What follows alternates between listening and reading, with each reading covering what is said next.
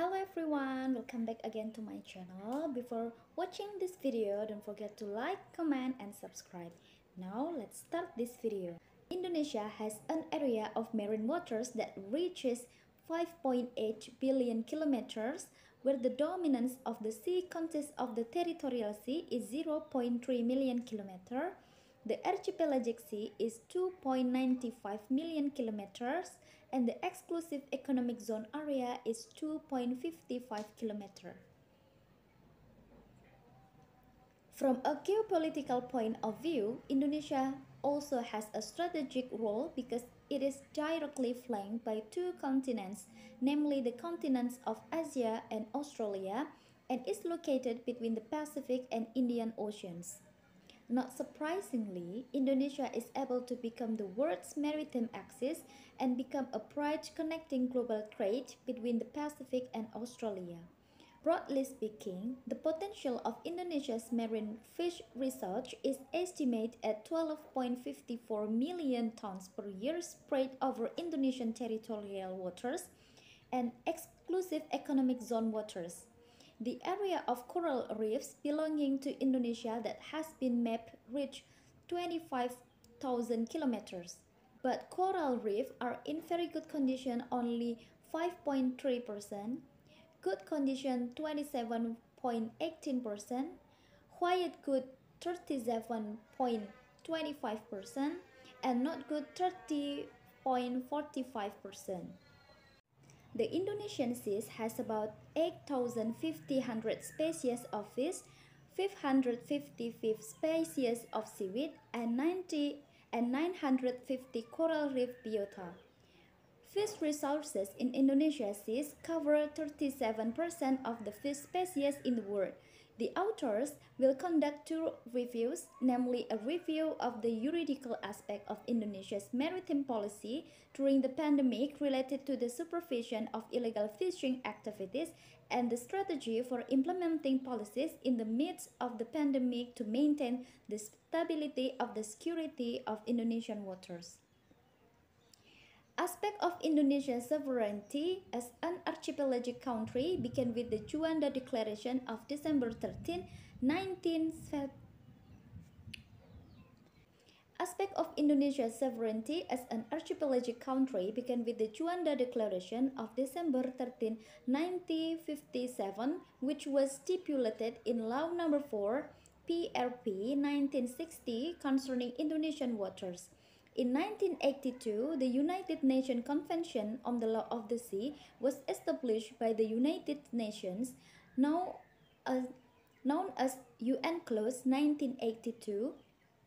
Indonesia was required to complete its rights and obligation in managing marine resources based on the provision of UNCLOS 1982 ratified into Law Number 17, year 1985 which function to complete the arrangement of maritime boundaries, including inland waters, territorial seas, additional zones, exclusive economic zones, and continental shelves. Indonesian laws and regulations have several binding legal bases that serve as the basis for preventing and eradicating illegal fishing in Indonesia in protecting Indonesian waters, including A the Territorial Sea and Maritime Environment Act of 1939, Territorial ZEE and Maritime Kringen Ordonnantie STBL 1939, number 442, B. Law of the Republic of Indonesia number 17 of 1985 concerning ratification of the United Nations Convention on the Law of the Sea or UNCLOS. C. Law of the Republic of Indonesia number 5 of 1983 concerning the Indonesian Exclusive Economic Zone. D. Law of the Republic of Indonesia number 17 of 2008 concerning shipping. Law of the Republic of Indonesia number 32 of 2014 concerning marine affairs. So far, the implementation of maritime law enforcement in Indonesia for cracking down on illegal water activities is running quite effectively, where throughout 2020 there were several illegal ships that were successfully secured and legally processed. For example, the Sheng Teng Hun 66 was successfully captured by the Marine and Fisheries Resources Monitoring Agency on April 21, 2020. The ship was found in the Sulawesi Sea with a long line fishing gear commonly used to catch tuna. The ship entered the Celebes Sea on its way back to its home country from a fishing area in the Pacific Ocean. After being arrested, the ship was successfully secured and sentenced according to the regulation in force in Indonesia through an authorized court mechanism.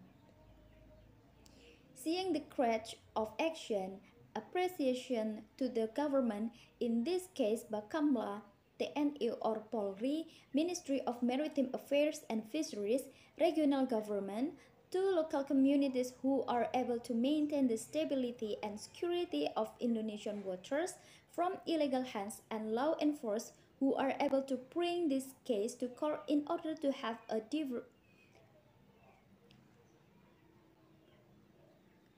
to bring this case to court in order to have a deterrent effect on foreign criminals. However, to continue to maintain the implementation of maritime law policies in Indonesia, a synergy and supervision from related parties is needed to be able to cooperate in handling, in handling illegal cases and promote a culture of integrity, transparency, and objectivity in law enforcement in Indonesia. Indeed, the current illegal fishing has changed the way it operates compared to the way it operated in 1990s. The crimes of illegal fishing has now become a highly sophisticated form of transitional organized Indeed, the current illegal fishing has changed the way it operates compared Indeed, the current illegal fishing has changed the way it operates compared to the way it operated in the 1990s.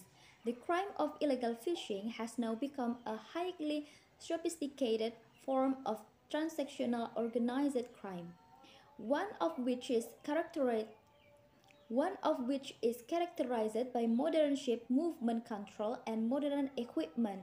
Fernandez, Fernandez 2017. Several modes of illegal fishing carry out, among others, by transferring catches from one ship to another in the middle of the sea, using a different flag and other devious methods that are other detrimental to the state. In this case, the government can encourage relevant international cooperation to maintain maritime sovereignty in Indonesia. International cooperation in eradicating illegal, unreported, and unregulated or IUU fishing will facilitate the investigation process. The information referred to can be in the form of information about the ship owner. This is done so that ship owners, both in both individuals and legal entities, can be held legally responsible for the crime of IUU fishing considering that the legal process for the crime of IUU. Fishing in Indonesia doesn't reach the ship owner.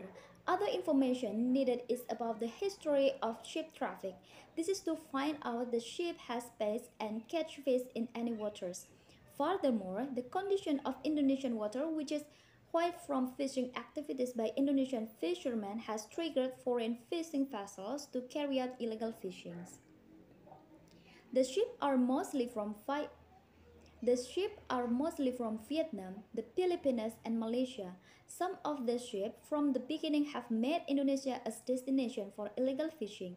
To deal with this, the Ministry of Maritime Affairs and Fisheries has actually made various alternative efforts such as revised the capture fishery production target revised the capture fishery production target in 2020. The Ministry of Maritime Affairs and Fisheries has actually set a fishery production target in 2020 of 26.46 million tons, with details of 8.02 million tons coming from capture fisheries 7.45 million tons from aquaculture and 10.99 million tons of seaweed. Okay everyone, thank you so much for watching this video. Until the next one, bye bye.